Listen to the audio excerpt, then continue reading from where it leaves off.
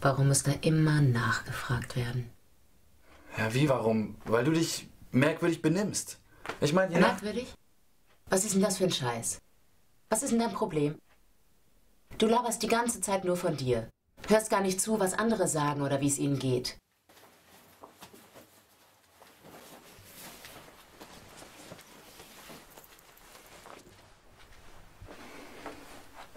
Weißt du was? Du hast ein Problem. Bist auf einmal ganz anders drauf.